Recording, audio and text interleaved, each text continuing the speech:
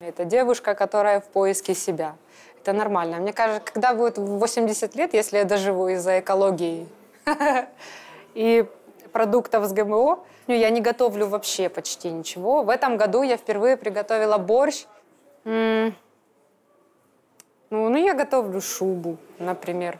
Я планирую стать на ступень выше, кулинарную, и приготовить собственноручно домашний майонез.